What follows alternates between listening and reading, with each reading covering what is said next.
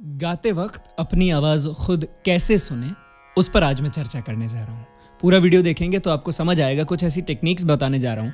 वैसे तो कुछ ऐसी खासा टेक्निक्स नहीं है, मगर हाँ कुछ पैंतरे हैं छोटे मोटे जिससे रियाज करते वक्त या गाते वक्त अगर आपको एग्जैक्टली exactly सुनना है कि आपका सुर कैसा साउंड कर रहा है या फिर बहुत शोर गुल है आसपास या भीड़ है या ग्रुप में आप गा रहे हैं और तब आपको अपनी आवाज़ सुननी है और आपके पास हेडफोन्स या ऐसा कुछ नहीं है या माइक्रोफोन नहीं लगा रखा है लाइव आप गा, बजा रहे हैं और उसमें आपको अपनी आवाज़ सुननी है तो कुछ ऐसी छोटी मोटी टेक्निक्स हैं। आज उस पर हम चर्चा करते हैं तो पूरा वीडियो देखिएगा। की तरह मुस्कुराने वाले थे भला गमों से। भला गमों से कहाँ हारे जाने वाले थे? वसीम बरेलवी साहब की लिखी बहुत खूबसूरत सी गज़ल मैंने कोशिश करी उसकी कॉम्पोजिशन करने की और हम लोगों ने उसे रिकॉर्ड करके एस के चैनल पर उसे अपलोड किया है रिलीज़ किया है। आप सभी लोग देखें लिंक आपको डिस्क्रिप्शन में मिल जाएगा। आइए बात करते हैं। गाते समय अपनी आवाज़ सुनने में हमें दिक्कतें होती हैं। जैसे अगर अभी मैं इस कमरे में अकेला हूँ और मैं आ, कुछ भी गाता हूँ तो कोई दिक्कत नहीं है मैं डायरेक्ट सुन सकता हूँ मुझे कोई शोर गुल नहीं है सुनने में। लेकिन यही जैसे जैसे लेयर्स बढ़ेंगी यानी मेरी आवाज़ के साथ एक और आवाज़ मुझे सुनाई दे रही है। मान लीजिए तानपुरा चल रहा है या हारमोनियम बज रहा है सेकेंड साउंड आ गया जो है मेरे ही सुर पर लेकिन मेरे साथ चल रहा है मुझे सपोर्ट देने के लिए चल रहा है। या फिर ग्रुप में हम दो लोग गा रहे हैं, अब दो लोग सेम चीज़ रियाज कर रहे हैं या फिर अलग अलग चीज़ें गा रहे हैं, तब भी थोड़े बहुत डिस्ट्रक्शन है, तब भी मुझे मेरी आवाज़ थोड़ी कम सुनाई देगी, बनस्बत उसके, है ना? दोनों दोनों चीज़ों का जैसे जैसे साउंड की लेयर्स बढ़ती हैं जैसे जैसे एक साउंड और ऐड हो गया कि अब ये भी है, अब ये भी है, अब ये भी है, अब ये भी है, ये भी आपके साथ बज रहा है, तब आपको खुद की आवाज़ सुनना बहुत ज़्यादा ज़रूरी पड़ जाता है, जिसके लिए आप देखते हैं स्टेजेस पे इन का इस्तेमाल होता है। कि जब आप लाइव स्टेज पर गा रहे हैं और माइक्रोफोन भी आपके पास है साउंड सिस्टम भी आपके पास है, भरा पूरा ऑर्केस्ट्रा आपके पास है, पूरी ऑडियंस है, तब भी जो सिंगर्स हैं या जो इंस्ट्रूमेंट्स वाले हैं, वो क्या करते हैं? कानों में एक छोटे से ईयरफोन यहाँ पे लगा लेते हैं ईयरपीस लगा लेते हैं। उन्हें कहते हैं इन ईयर मोनिटर्स जिसमें कि उनको उनका साउंड आ रहा होता है। यानी अपनी आवाज़ सुनना बहुत ज़्यादा ज़रूरी है, अपना सुर सुनना बहुत ज़्यादा ज़रूरी है, तभी आप बराबर सुर सुर में रह पाते हैं। क्योंकि तभी मैंने हमेशा से कहा है ना कि हारमोनियम या तानपुरा अगर आप साथ में चला रहे हैं रियाज के लिए तो उनका वॉल्यूम हमेशा कम रखा कीजिए। इतना लाउड भी नहीं रखना कि अपनी आवाज़ दब जाए और उनका बहुत ज़्यादा साउंड हो जाए और आप फिर बेसुरे हो जाएँगे ना, क्योंकि आपको अपना साउंड तो सुनाई दे ही नहीं रहा, आपको आभास हो रहा है, ऐसा लग रहा है कि हाँ वो हमारा साउंड मैच कर रहा है उसके साथ, जबकि ऐसा हो नहीं रहा होता है। और यही चीज़ कि भैया, उनकी वॉल्यूम इतनी भी कम मत रख देना कि आपको उनका सुर ना सुनाई दे और आप सिर्फ़ अपना ही सुर सुनाई दे तो आपको लगे कि हाँ ये तो सही जा रहा है है ना? उसको जांचने के लिए मेजर करने के लिए तानपुरा और हारमोनियम का वॉल्यूम इतना एवरेज आपको रखना है दोनों का देख कर कि ज़्यादा लाउड ना हो, ज़्यादा कम ना हो। यही चीज़ कब काम आती है। अब इसी चीज़ के साथ आप देखिए, तब भी आपको स्पेसिफिकली अपनी आवाज़ सुननी है। तो कुछ कुछ चीज़ें हैं जो आप कर सकते हैं, जो मैंने कुछ कलाकारों से ऑब्ज़र्व करी है, कुछ गुरुओं से सीखी है। तो मैं आज आपके साथ साझा कर रहा हूँ, आपके साथ बांट रहा हूँ। डायरेक्ट हमें हमारा साउंड ऐसे सुनाई देता है। दोनों कान का जो हमारा डायरेक्शन है, वो ऐसा है। अब कुछ लोग कहते हैं, वैसे आप देखेंगे, अगर शास्त्रों में देखेंगे, गायकों के गुण अवगुण पढ़ेंगे तो उसमें ये चीज़ अवगुण मानी गई है कि कान पे कान बंद करके, इस तरह से आपकी आवाज़ सुनना, जैसे सुर सुनते हैं ना, जैसे ऐसे करते हैं। अब एक तो सा आप ऐसे लगाएँगे, सा, और एक सा लगाएँगे सा आपने देखा कान पर हाथ रखते हैं। वो एक्चुअली में हाथ नहीं रखते हैं। वो कान को बंद करने की कोशिश करते हैं ताकि बाहर का साउंड थोड़ा कम आए। और आप करके देखिए एक बार, आपको अपनी आवाज़ ज़्यादा सुनाई देगी जब आप इस तरह से करेंगे।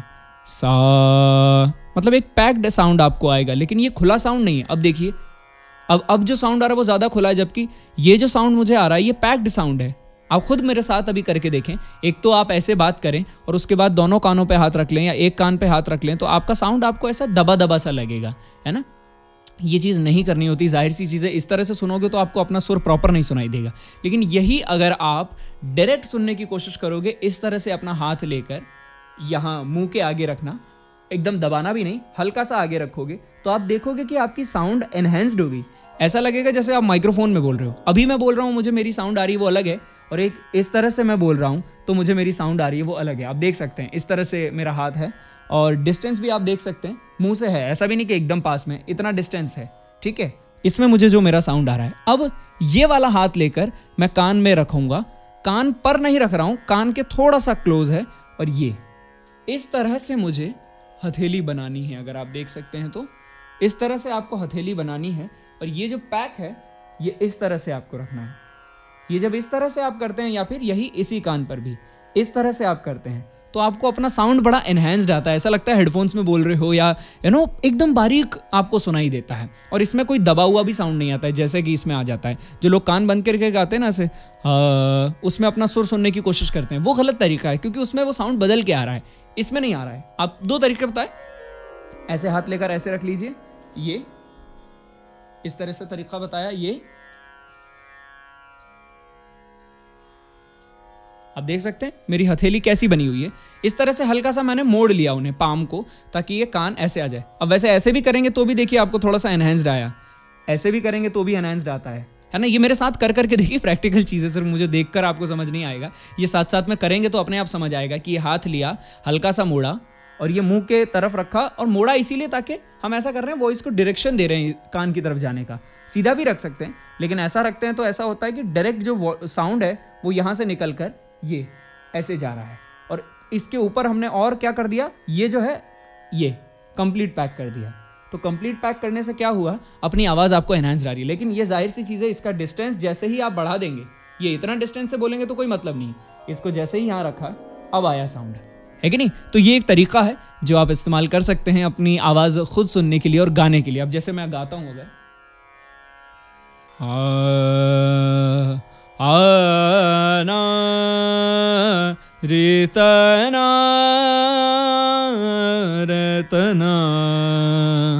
आना री। तो कई बार क्या होगा? शोर अगर है या आसपास कोई दूसरा साउंड है, मुझे सुनाई नहीं दे रहा है तो मैं कैसे गाऊँगा?